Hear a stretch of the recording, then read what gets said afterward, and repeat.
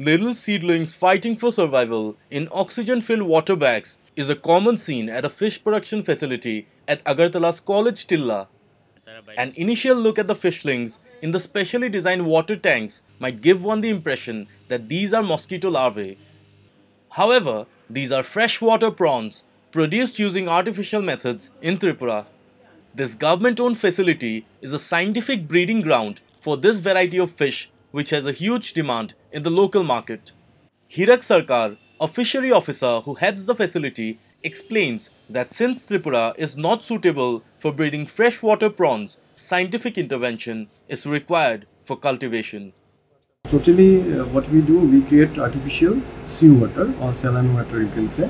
With that actually, uh, usually uh, the prawn, no, it's, uh, it's develops in the freshwater and the, uh, in even during breeding period also we can find that in prawn they actually bears the egg.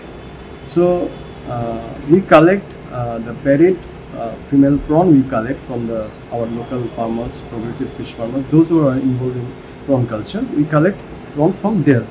After that what happen we bring into our hatchery and we keep them into our saline water. And there are a lot of serious uh, series of process through that uh, prawn from prawn larvae we, we bring into prawn juveniles and after that only uh, we give after uh, becoming the juvenile stage we supply to the our progressive fish farmers or sometimes they approach us. So through departmental scheme program whatever scheme program government takes time to time through those schemes we give. And we give training also and uh, uh, privately also a lot of farmers lot of progressive farmers they take uh, prawn farmers by uh, they purchase from us and uh, in that way also prawn culture is developing. Giant freshwater prawns are high in demand in the state's markets and the average price ranges from rupees 1200 to rupees 1600 per kilo. The fish carries an even heftier price tag during festivals such as Bijaya Dashami, Pohela Boisak and Jamai Sasti. Because of this, the government is encouraging progressive farmers to breed more prawns.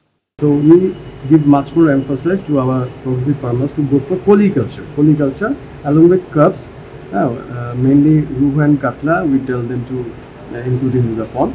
And uh, all bottom bottom uh, uh, area fish like carp, common carp and mrigala, we tell them to discard those species, those two species, and only Ruhi Katla and prawn, prawn juveniles, they can add into the polyculture system polyculture of prawn with carps. That kind of uh, technology has been prevailing in our state from uh, from 1996 onwards we have started. So it has increased. My, like the progressive farmers has increased.